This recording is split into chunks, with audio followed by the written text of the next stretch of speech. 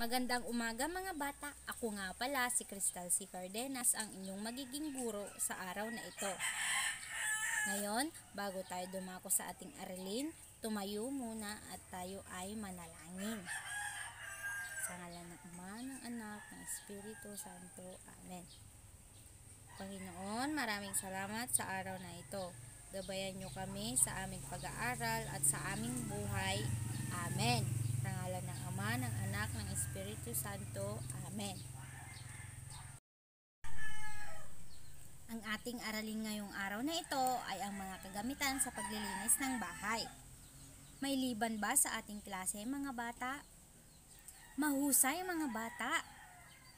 Bago tayo dumako sa ating talakayan, may mga ilang katanungan muna ako para sa inyo. Kayo ba ay naglilinis ng bahay? Magaling mga bata! Dapat lamang na maglinis tayo ng bahay upang matuto tayo sa mga gawaing bahay. Pangalawang tanong, tumutulong ba kayo sa inyong mga magulang?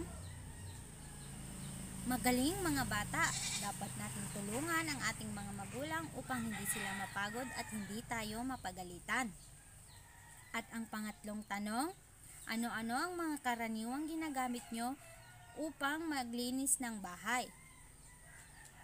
Magagaling mga bata, ang mga gamit na karaniwang ginagamit sa paglilinis ng bahay ay ang walis tambo, palstingting, pamunas, daspan, basurahan, at iba pa. Ngayon, magpapakita ko ng mga larawan na ginagamit sa paglilinis ng bahay. Alam nyo ba ang mga ito, mga bata?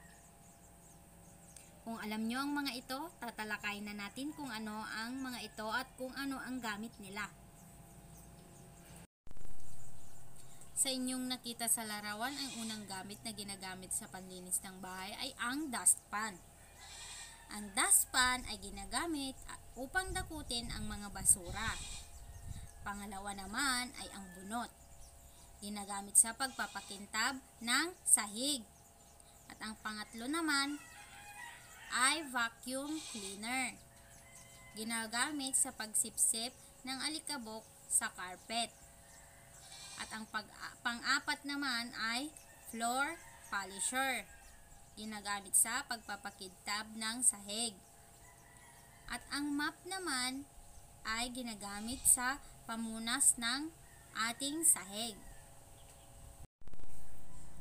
Ang pang-anim naman na nasa larawan ay ang scuba o brush. Ito ay ginagamit sa paglinis ng mga kasangkapan. At ang pangpito naman ay ang basahang tuyo. Ito ay pamunas o pantanggal sa alikabok at pamunas ng ating kasangkapan. At ang pangwalo naman ay walis tambo. Ginagamit sa pagwawalis ng sahig na makinis. At ang walis tingting naman ay ginagamit sa pagwawalis ng magaspang na sahig at sa ating bakuran. Ngayon mga bata, na natapos na natin ang ating talakayan. Ngayon, dumako na tayo sa ating pagsusulit. Sulat sa patlang kung anong gamit ang tinutukoy sa pangungusap. Una, ito ay ginagamit sa pag-alis ng alikabok at pagpupunas ng kasangkapan. Magaling mga bata! Ito ay basahang tuyo. Pangalawa naman, ito ay ginagamit sa pagpapakintab ng sahig. Mahusay mga bata! Ito ay ang floor polisher. At ang pangatlo naman, ito ay ginagamit sa pagwawalis ng magaspang na sahig at sa ating bakuran. Magaling mga bata!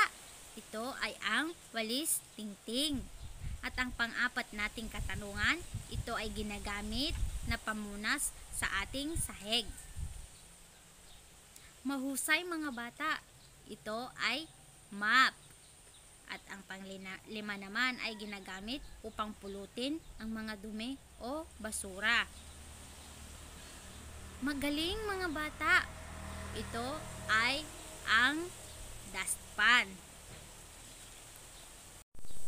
Para sa ating takdang aralin, magtala ng limang kagamitang panlinis na madalas ginagamit sa panlinis ng bahay.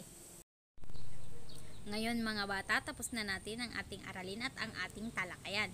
Muli, ako nga pala si Teacher Crystal C. Cardenas at maraming salamat sa inyong pakikinig. Paalam!